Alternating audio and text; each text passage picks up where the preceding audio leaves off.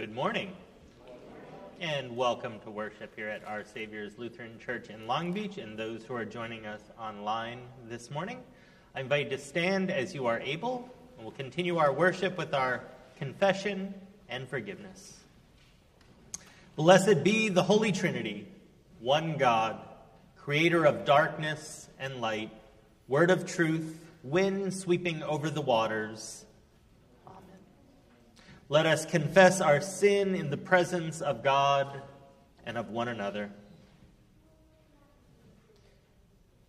God, our rock and refuge, we pour out our hearts before you. We have known you, but have not always loved you. We have wounded one another and sinned against you. We have not always recognized the Holy Spirit dwelling in each of us. Remember your covenant, renew your creation Restore us that we might proclaim your good news to all. Amen. The voice of the Lord is upon the waters. God has spoken. The time of grace is now. In Jesus, the reign of God has come near. By the authority of Jesus Christ, your sins are forgiven. You are God's beloved. Amen.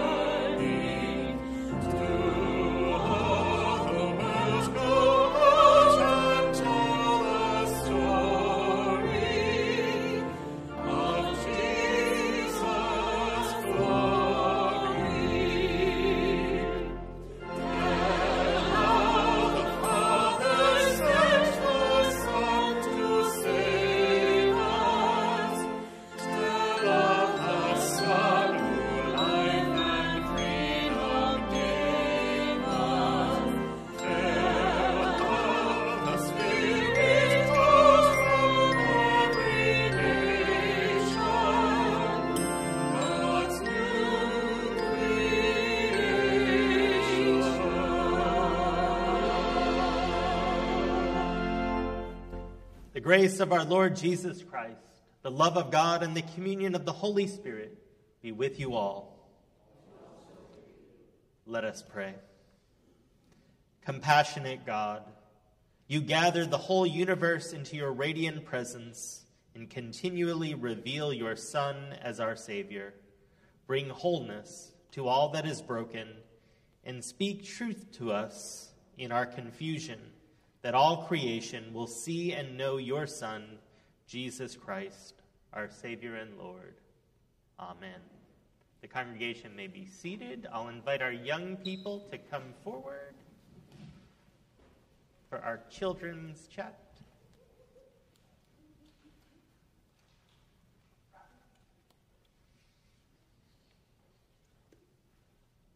Well, good morning.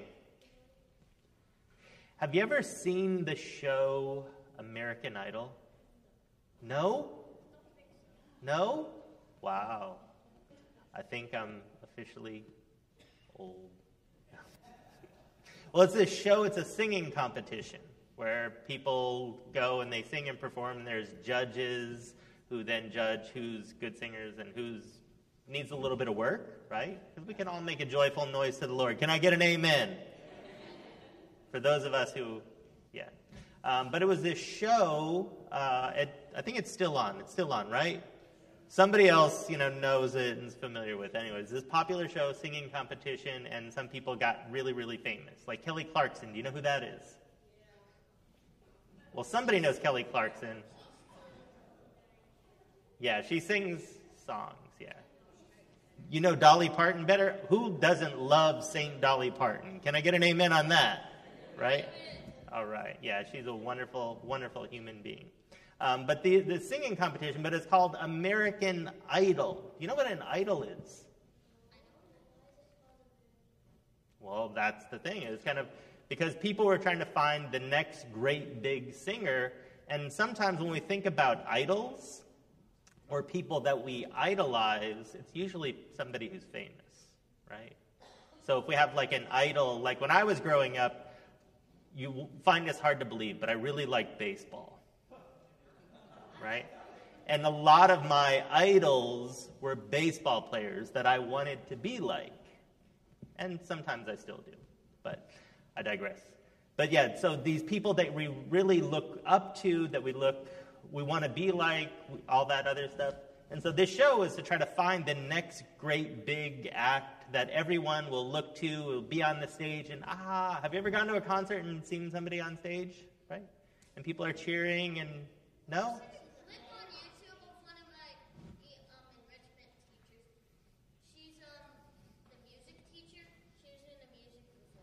Ah, okay. Yeah. Well, I'm glad that you all are not into worshiping our modern day idols, right? So that's good. You've learned the lesson. We can all go, right? Um, but over time and way back in history, there were religious traditions and groups that had these little things, uh, idols, or performed kind of like idol worship of these gods that they believed in and these things that they felt had power, right? And in our readings for today, there's you know prophets that tell people not to be worshiping these things um, because anything or anyone can become kind of like an idol. Because who are we supposed to worship and pray to and give thanks to? God. Is God confined to one little thing or one place? or one building, even this church, right? Where we sometimes call a church a house of God, but sometimes that could even become an idol, right? It's supposed to point to God, but not be God. And we find God here, right? And so as we think about these readings for today, and we think about idols and kind of idol worship, um, and the different heroes that we might have, we might we should, you know, look to people who inspire us, kind of like Dolly Parton, right? Who wants everybody to be able to read and have books and have education. That's a good thing. So we should inspire to be like people who are doing things of compassion uh, and justice and other things. And the person that we look to first and foremost um, is Jesus, right? Because he's the one who teaches us uh, how to be loving and compassionate and other people who have learned from Jesus and try to live their lives like him? And that's not idol worship. That's worshiping the one who, who teaches us love and compassion. Okay? So let us pray. Gracious and loving God, we give you thanks for uh, the gift of, of Jesus uh, in and for our world. We ask that our young people will continue to, to look to him uh, as your word of truth and of love and of grace. We ask that you watch over all of our young people to lead them, guide them, inspire them in all that they say and all that they do. And we pray this in Jesus' name. Amen. All right. Thank you very much.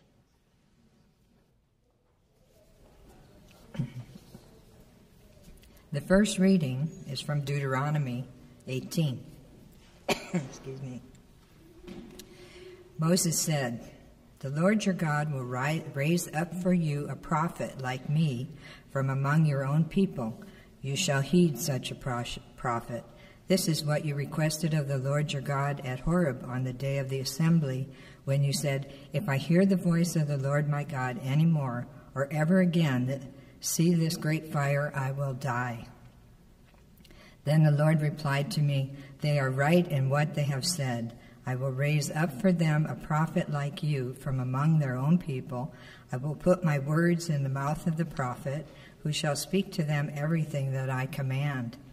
Anyone who does not heed the words of the prophet shall speak in my name. I myself will hold accountable. But any prophet who speaks in the name of other gods, or who is presumes to speak in my name a word that I have not commanded the prophet to speak, that prophet shall die. Word of God, word of life.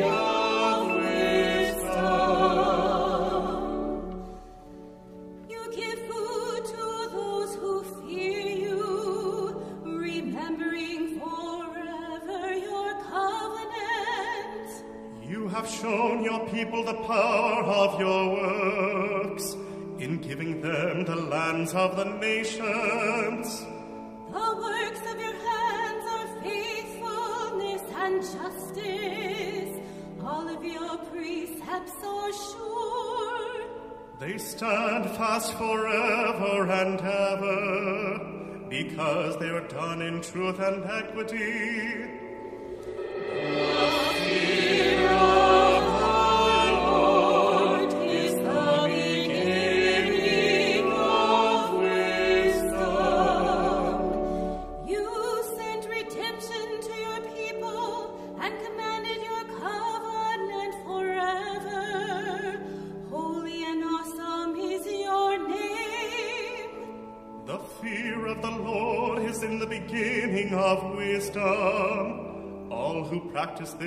Have a good understanding. God praise endures forever.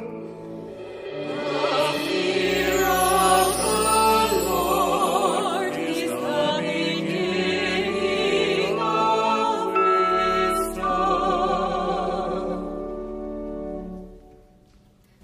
The second lesson is from 1 Corinthians 8.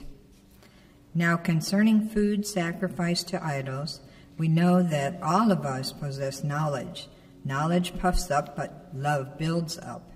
Anyone who claims to know something does not yet have the necessary knowledge, but anyone who loves God is known by him. Hence, as to the eating of food offered to idols, we know that no idol in the world really exists, and that there is no God but one. Indeed, even though there may be so called gods in heaven and on earth, as in fact there are many gods and many lords.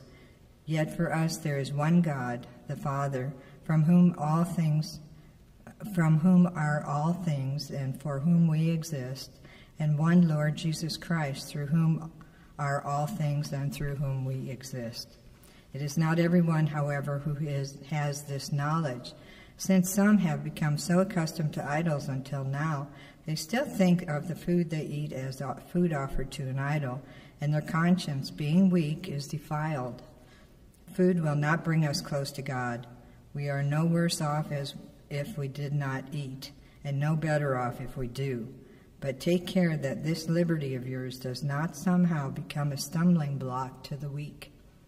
For if others see you who possess knowledge eating in the temple of an idol, might they not, since their conscience is weak, be encouraged to the point of eating food sacrificed to idols? So by your knowledge, those weak believers for whom Christ died are destroyed. But when you thus sin against members of your family and wound your, their conscience when it is weak, you sin against Christ. Therefore, if food is a cause of their falling, I will never eat meat so that I may not cause one of them to fall. Word of God, word of life.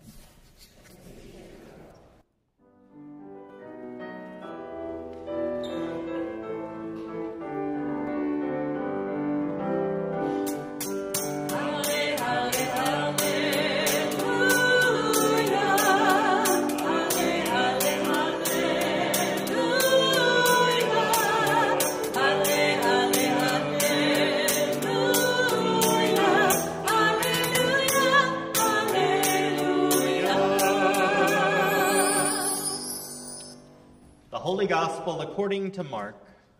Glory to you, O Lord. Jesus and his disciples went to Capernaum, and when the Sabbath came, he entered the synagogue and taught.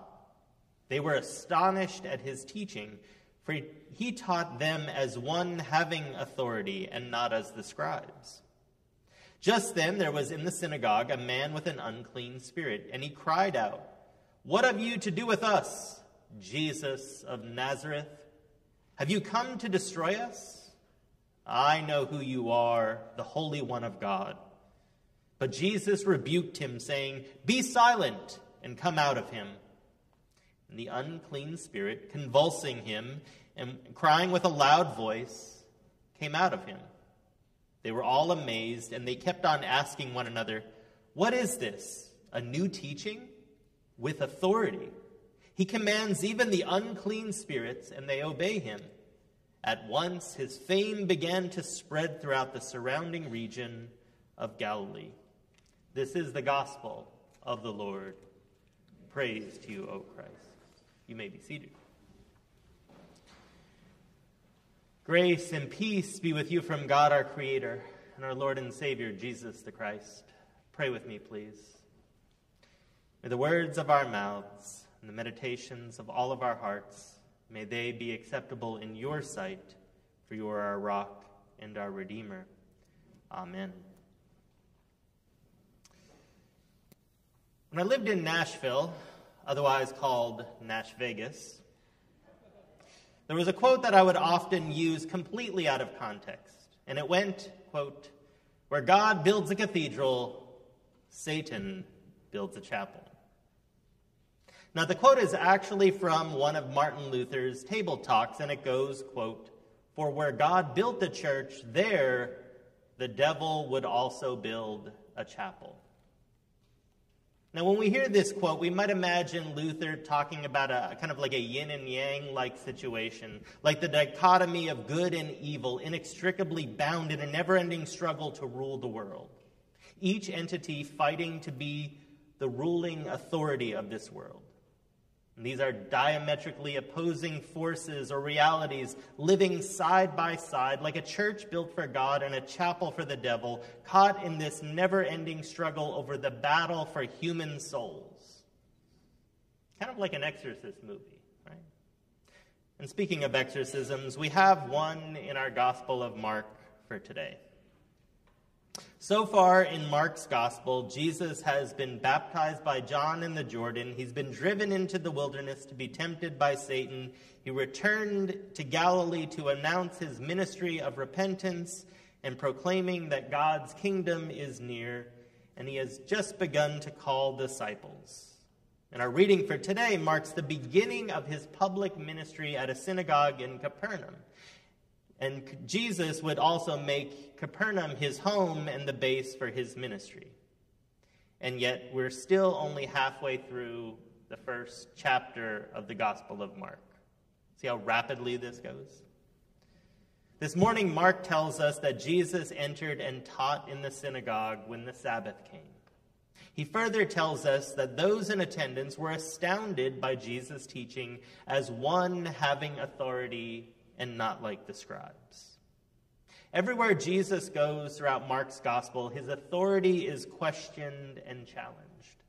Those in the synagogue spoke of their astonishment because Jesus wasn't expected to be a teacher. They saw Jesus as part of the Amharites, a poor artisan from Nazareth who had made some friends with fishermen. And they all questioned by what authority Jesus was teaching them about God and God's ways. For he was teaching as one having authority. It was as Jesus was teaching, just then or immediately, his authority was directly challenged by a man with an unclean spirit. And the scripture tells us that the man cried out, What have you to do with us, Jesus of Nazareth? Here, the man with the unclean spirit first addresses Jesus as someone down near the bottom of the social mobility ladder. The man with the unclean spirit joined the rest of the synagogue by calling him out as Jesus of Nazareth. And can anything good come from Nazareth, right? The man or the spirit then asks, Have you come to destroy us? See, the spirit knew who Jesus really was. The spirit says, I know who you are, Holy One of God. Now, this is an entirely different status than the one that everyone assumed Jesus had. But Jesus wasn't quite ready to have his true identity revealed just yet, and for a variety of good reasons. So Jesus said to the Spirit, Be silent and come out of him. And just then the man started convulsing, and he cried out with a loud voice, and the Spirit came out of him, just as Jesus commanded. And now everyone was amazed at his teaching, and that he had authority over the unclean spirits who obeyed him. In Mark's gospel, time and space are important to the narrative. The event that we read takes place in the synagogue, which is a sacred space, and on the Sabbath, which is a sacred time. And this story marks Jesus moving from the margins of the ordinary as being a poor craftsman from Nazareth who is not perceived to have any power or authority on his own into the sacred space of the synagogue where he assumes the role of religious teacher or rabbi and even the Holy One of God.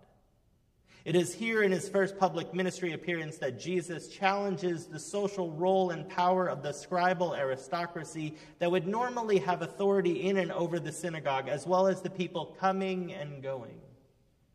Now, we don't know if the scribes were present at the synagogue on that Sabbath or not, but they do not receive a mention. They do receive a mention in relationship to Jesus' teaching with authority and not like the scribes. But who are the scribes anyway? You see, scribes in first century Roman Palestine were not just copyists, secretaries, or notaries, although they performed those duties of writing certificates of marriage, divorce, property stuff, etc. But they were also the spiritual descendants of Ezra the scribe, and as doctors of the law, they were highly educated, typically in Jerusalem. They were the authorized biblical scholars of their time with responsibilities for copying, reading, interpreting the scriptures for those who were dispersed around the Roman Empire. They were the authority when it came to interpreting the law, and they were part of the religious authorities along with the Pharisees and Sadducees based in Jerusalem and the temple. This event in the synagogue becomes a precursor to the budding conflict between Jesus over and against the scribes and the Pharisees. The scribes and the Pharisees, along with the Herodians, will challenge Jesus over his power and authority and influence in religious and civic matters. Our reading for today is the public beginning of the popular movement that Jesus is building. And Jesus is building a movement and a community from among everyday people who, like himself, were often viewed as the cast offs and looked down upon by the more learned scribes and Pharisees. These people are often referred to as the Amharites, or people of the land. They are the uneducated, rustic population of the first century Palestine. They are the masses of people who sought out Jesus for healing, his teachings, and maybe an exorcism or two. Now, while the scribes and Pharisees might have been well respected by most because of their dedication to the law, they were not about to allow a nobody to come in and usher in revolutionary changes when it comes to the interpretation of the law, as well as control over who is in, who is out, who is clean, who is unclean. Jesus' proclamation that the kingdom of God was coming near, that people should repent, turn from their ways, and follow him in his movement for justice and freedom, flew in the face of the scribes and the Pharisees. You see, the scribes and the Pharisees at this time were more focused on temple sacrifice and teaching people to follow every letter of the law as they themselves properly understood and taught it. And they were also more interested in going along and getting along with the imperial system and some of the power and authority that they were able to enjoy for themselves. But for the people who were suffering and hurting under Roman and Herodian occupation, the temple sacrifices were not enough to bring about the change that they longed for. Purity rituals and rites weren't going to end their suffering nor bring forth the kingdom of justice and righteousness that Jesus was teaching about. The scribes and the Pharisees were protectors of the status quo, and Jesus was about turning over tables and disrupting the status quo.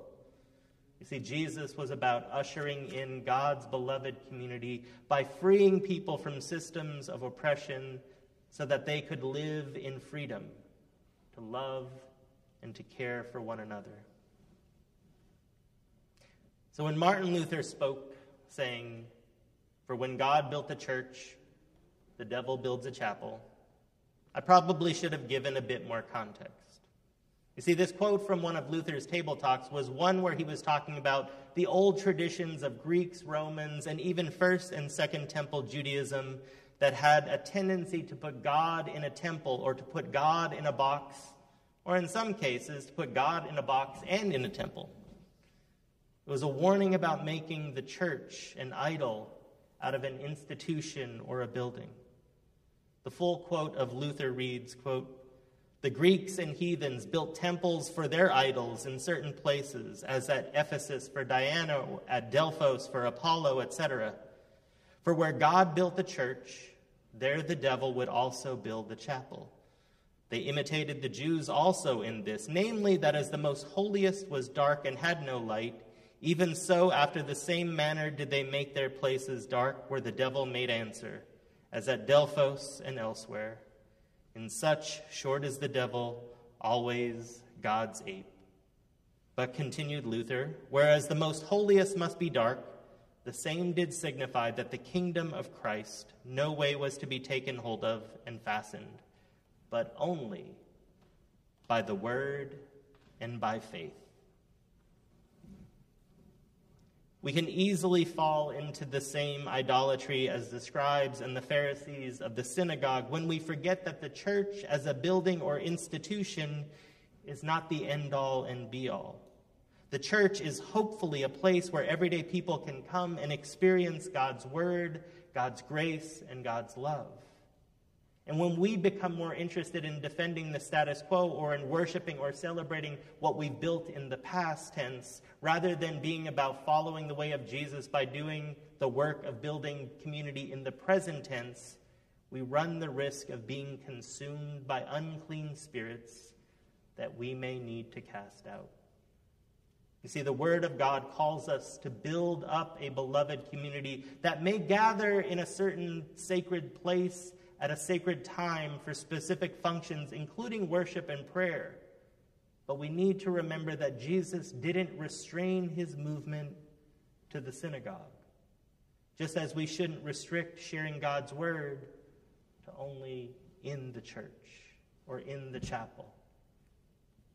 Jesus' public ministry began in a synagogue as he was casting out bad spirits within a place that was more concerned about their own authority and power. And our gospel, gospel reading reminds us that Jesus challenges the status quo of our religious institutions when we place limits and restrict our freedom to love and care for one another, which is what God truly demands of us. Jesus has come to free us from the unclean spirits that kept, keep us from going out into the world to proclaim the good news of God's grace and God's inclusive love. And Jesus invites us to build up the beloved community of God through our works of love and of service. So, my siblings in Christ, May God's word cast out any unclean spirits that are in our hearts and our minds so that we might be renewed in our commitment to follow the way of Jesus. And may we work together to build a sacred space where God's inclusive love and grace inspire us to go out and share the good news with others. And may God's Spirit dwell within each and every one of us so that wherever we go, we may embody God's church and be Christ's body in and for the sake of our world. Amen.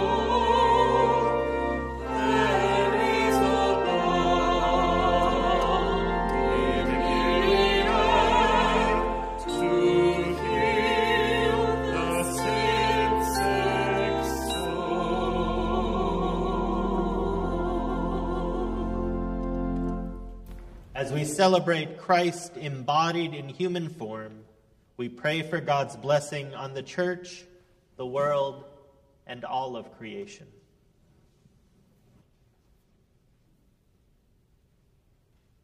Loving God, we pray that your example of teaching with confidence and authority builds up your church in love.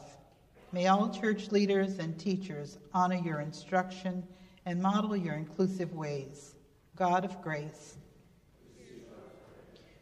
Renewing God, we pray for all creation that waterways flow clean and clear, natural spaces are protected, and our planet is healed. Let us commit to thoughtful use of the earth, God of grace. God of justice, we pray for those in government and community leadership that they lead with honor and mindfulness. May they remember their covenants and be upright in their ways. God of grace.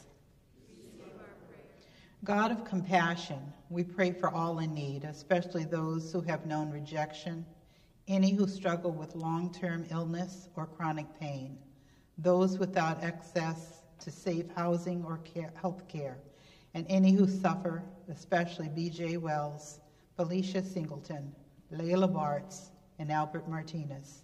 God of grace. God that still speaks, we pray for our congregation, for its artists and musicians, for its educators and caregivers, that all gifts are used to care for those in need and to live out your example of compassion, gospel witness, and love. God of grace. Eternal God, we remember all who have been teachers, mentors, and companions in the church and in our lives, especially Thomas Aquinas, who we commemorate today. We trust that all who have died rest in your loving care. God of grace.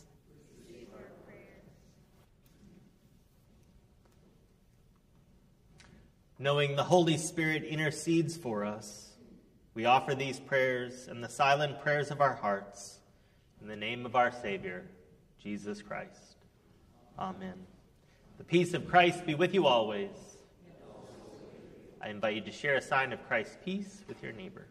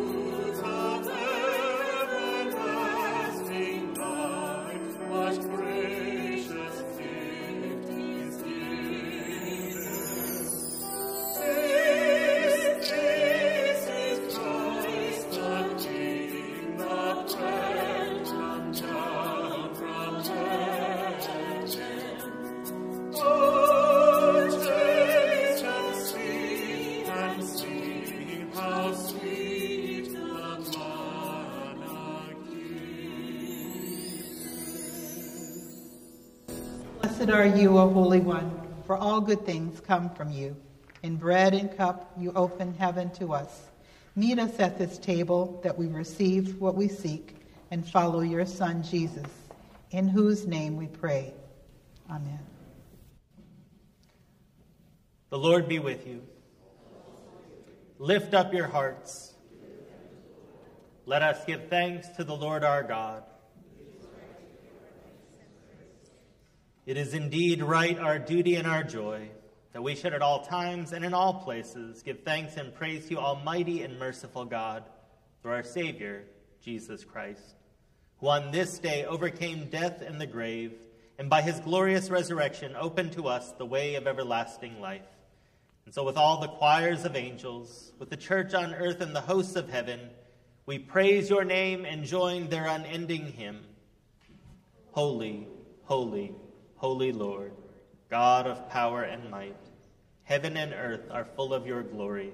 Hosanna in the highest. Blessed is the one who comes in the name of the Lord. Hosanna in the highest. Holy, mighty, and merciful Lord, heaven and earth are full of your glory.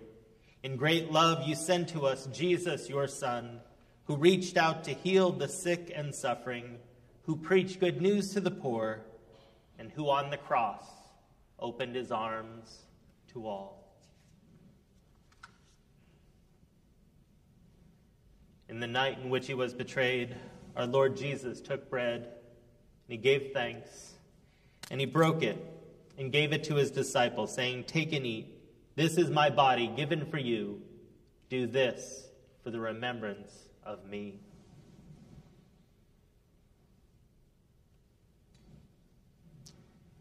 Again, after supper, he took the cup and he gave thanks and gave it for all to drink, saying, This cup is a new covenant in my blood, shed for you and for all people for the forgiveness of sin. Do this for the remembrance of me. Remembering, therefore, his death, resurrection, and ascension, we await his coming in glory. Pour out upon us the spirit of your love, O Lord, and unite the wills of all who share this heavenly food, the body and blood of Jesus Christ our Lord, to whom with you and the Holy Spirit be all honor and glory, now and forever. Amen. Gathered into one by the Holy Spirit, let us pray as Jesus taught us. Our Father, who art in heaven, hallowed be thy name. Thy kingdom come, thy will be done, on earth as it is in heaven. Give us this day our daily bread, and forgive us our trespasses, as we forgive those who trespass against us. And lead us not into temptation, but deliver us from evil. For thine is the kingdom, and the power, and the glory, forever and ever. Amen. At Jesus' table, heaven and earth are joined as one. Come and see.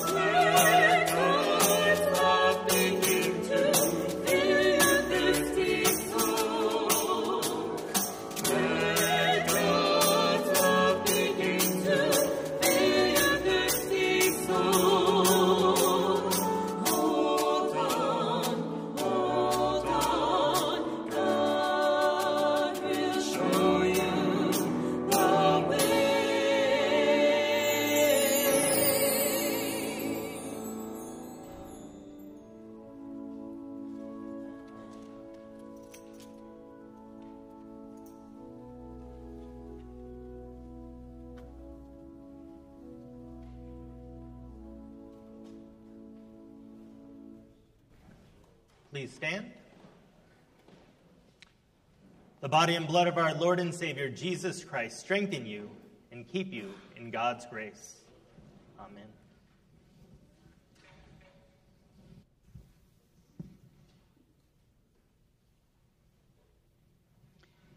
Giver of every gift, Christ's body is our food, and we are Christ's body. Raise us up to life by your power for the benefit of all and to your glory now and forever. Congregation may be seated for our announcements. Following the service, we're going to take a short break as we get set for our annual meeting. Yay! So we'll have our annual meeting uh, following the service, uh, and we do have packets uh, of the annual report for those who uh, haven't gotten those yet and would like to get those. We'll have those available. Uh, we will have some coffee and some other stuff available here as well. So be sure to, to caffeinate yourself if you need it, um, and we'll, we'll begin that shortly. Um, Bible study Wednesdays, 11 o'clock. Uh, we're going to start to go in the fireside room. Uh, so we're going to move on over there, mix it up a little bit as we get ready for our uh, Advent, or not Advent, whoa.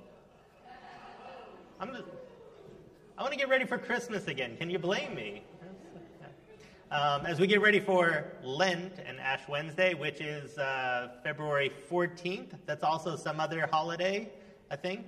Um, reminders on my calendar. Uh, Valentine's Day also coincides with uh, Ash Wednesday, uh, but we'll be doing uh, midweek devotions um, that first Wednesday in Lent. Uh, not Ash Wednesday, the Wednesday after, but a midday devotion at noon with a soup lunch uh, in the uh, fellowship hall fireside room, uh, depending upon what's available that day. So you can join us for that. Uh, and then we'll do an online Zoom midweek devotion around 7 o'clock uh, for those who would like to participate in that as well. and we'll be using the ELCA or Lutheran World Hunger uh, devotions this year, and I'll send a, a, copy and have that posted so people can download those uh, and participate either online or in person. So mark your calendars for that.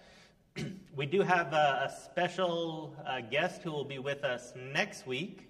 Um, I just arranged it uh, earlier this week, uh, but Reverend Jennifer Gutierrez, who is the director of Clergy and Laity United for Economic Justice. Uh, she'll be, uh, I'll be sharing my pulpit with her. Uh, she's also a United Methodist pastor as well. Um, but with things coming up uh, in uh, March, uh, with the election, I think there's a, a living wage thing on the ballot as well, um, and some other things. So we thought we'd get people thinking about what's happening in our, our city, in our community, uh, in ways that we can be engaged uh, civically uh, as well uh, on issues. No endorsement of candidates, but to talk about the issues that you know we think Jesus would, would care about as well. So she'll be uh, here to preach uh, and to share some uh, uh, voices of some of our, our fellow workers in the Long Beach area and some of their struggles. um, with trying to, to live and work, uh, not just in the city, but uh, throughout the state uh, and the country. So, uh, and I think those are the announcements that I have for now. All the other ones you can see printed in the bulletin. Okay? Anything else that I missed? Okay. With that, please stand as you are able and receive the blessing. God who names you, Christ who claims you, and the Holy Spirit who dwells in you, bless you and remain with you always. Amen.